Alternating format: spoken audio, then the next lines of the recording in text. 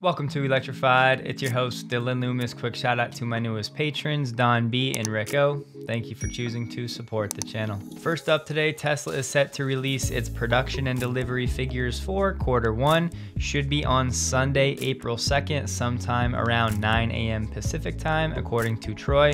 If you look at his chart for the last 12 quarters, this data has been released on the 2nd, so it's a pretty safe bet. Typically, for European deliveries, it's wise to not get too jazzed up over one month or one country, but there's more in this article. Here are some figures for year-to-date deliveries, so almost a full quarter in Norway. Tesla delivered 7,565. Second place is VW with 3,072. So Tesla has doubled up the second place brand in terms of deliveries this year. Again, year to date, Tesla has 34% of the market share in Norway, up from 12% in 2022. From Roland in Norway, Tesla has already sold as many cars this year as they did through the month of August last year, and we still have a few days left.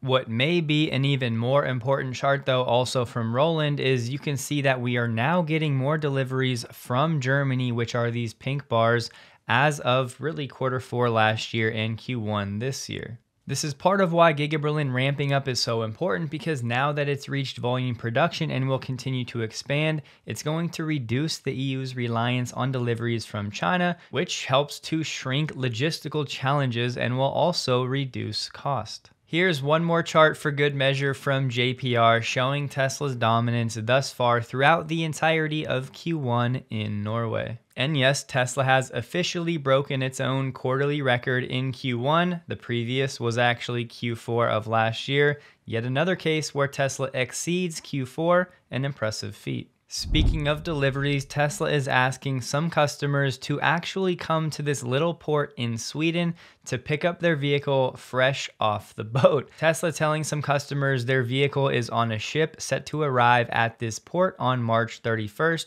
asking them to come take delivery directly from the port. In the event of no response, we may pause your order until April to May to further encourage these people to make the trip. Ultimately, some people will love this type of thing, ingenuity, creativity, Tesla thinking outside the box, and then other people won't like it as much, but it is what it is. We got an update from Weddell & Sons Roofing just saying that they've still been working on Tesla solar and solar roof installations, working around the snow in these select states. Yes, this is one of the Tesla certified installers. I bring this up because over the past year, Tesla has seemingly been trying to find the balance versus doing its own in-house installations for solar and solar roof versus contracting some of this out to third parties. The feeling and reporting would lead us to believe that Tesla has been focusing on more contract work, meaning not doing as much installation in-house with people that Tesla actually hires. However, as Electrek pointed out, there are some new Tesla job postings for licensed electricians in California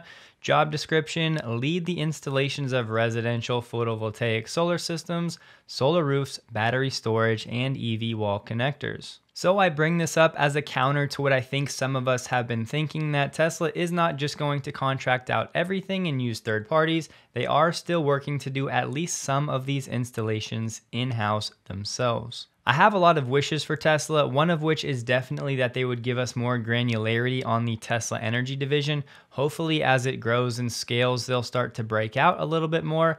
Megapack, Powerwall, Solar Roof. Tesla doing that would open up the door for us to backdoor some math and do some numbers to figure out growth rates for specific products and profitability for certain divisions under the Tesla Energy umbrella. Fingers crossed. From DTC, Tesla will be expanding into Canada with what will be one of the biggest locations in Canada, a 60,000 square foot building in Dartmouth, just outside Halifax, Nova Scotia. According to a permit, they're looking at around $1.3 million in renovations, and ultimately, this will serve as a showroom, a service area, and office space for employees. Personally, I love seeing Tesla quietly expand in many different ways while everywhere else you look, most people are shrinking or cutting back.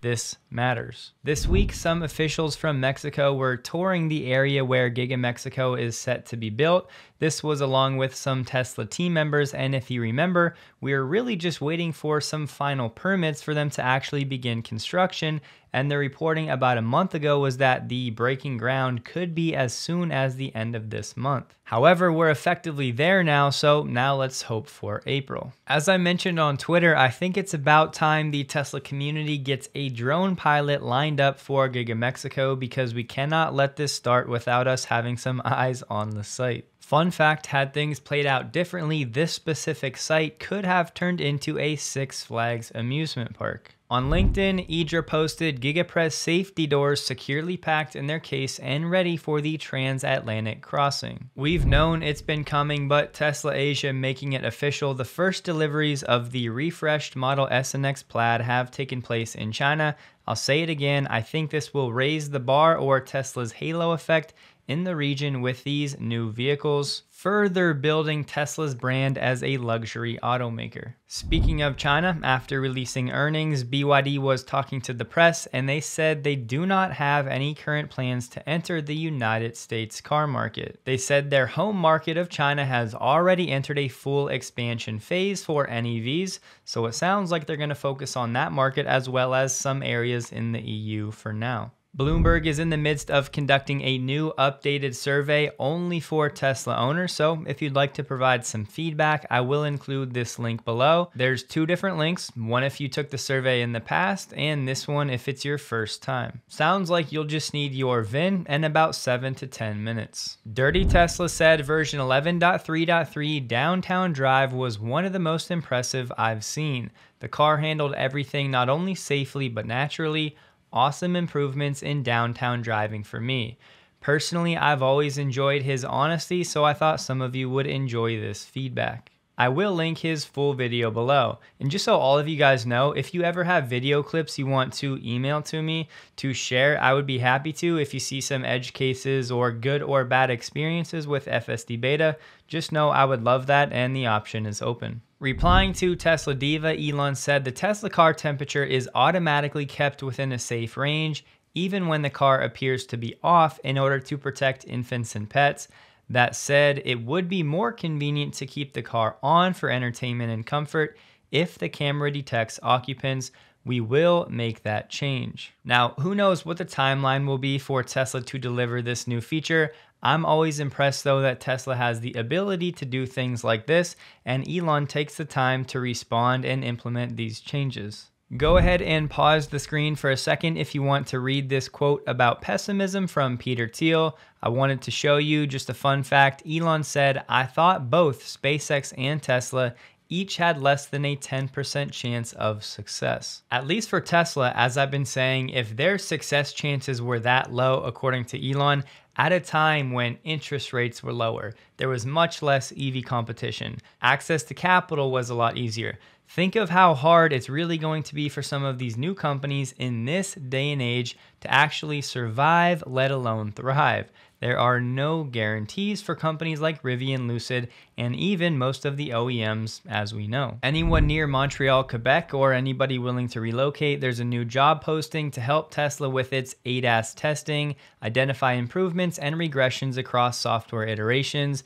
This will include domestic and international destinations. Tesla did say, however, you will need a bit more than just a love for Tesla and testing FSD. This Reddit user pointed out that in their latest software 2023.6.8, now you can find the user manual actually directly through the UI. I know some cars, some versions have already had this, but in case you didn't know, this is now a feature. Something for some of you to check on if this will impact you, but Tesla North is saying that Tesla automatically resets the warning sensitivity to the default medium setting at the start of each drive when it comes to the forward collision warning. And here's a screenshot of the actual note. So if you like having it on a setting other than medium, just know you may have to do this manually before each drive. Here are the steps to adjust that setting if you need to. Over the past few months, we've heard a few reports of the Tesla Semi breaking down. Now we get a little bit more color. Some of the breakdowns have been caused by a glitch with the software. So far, it sounds like there have been eight instances of Tesla Semis breaking down. It's unclear how many of these instances have been caused by this software glitch, but according to sources, the glitch is causing the dash screens and lights on them to flicker and sometimes shut off. So far, the drivers have just been pulling over and then they've been towed from there to a secret location in Lathrop to be worked on. Looks like at least four of the units have been towed to this location. Naturally, I do wonder if any of these drivers have been told they can reset the system by pressing and holding both of the wheel buttons on the steering wheel, but maybe since it's a test fleet, Tesla wants to know everything that goes wrong and they want to actually handle it directly so they can figure it out and work it out. In my eyes, things like this are part of why the Tesla Semi ramp will be slower than some have been expecting. They just need to work through a lot of new things with this vehicle and it's normal and should be expected. With that said, some form of mobile diagnostics would of course be much easier and more convenient than having to tow the vehicle each time something like this happens. So we'll see how this shakes out. We got a bit more detail on the upcoming Kia EV9. There will be a dual motor all-wheel drive setup as well as a rear wheel drive option. The latter is likely to have the longest range around 280 miles. Vehicle is set to go on sale in North America in the second half of this year, but Kia has not yet released any pricing. This will be built on the eGMP platform, meaning it will have an 800 volt architecture. It sounds like there will be two different battery pack options, a smaller 77.6 kilowatt hour version as well as a 99.8 kilowatt hour pack, but the specific ranges for each have not been released. But again, word on the street is the highest range will be around 280 miles when it comes to the EPA's methodology. Kia did say it's working on a LiDAR-based system called Highway Driving Pilot that should allow level 3 autonomous driving in certain situations. You can find me on Twitter at DillonLoomis22. Hope you guys have a wonderful day. Please like the video if you did, and a huge thank you to all of my Patreon supporters.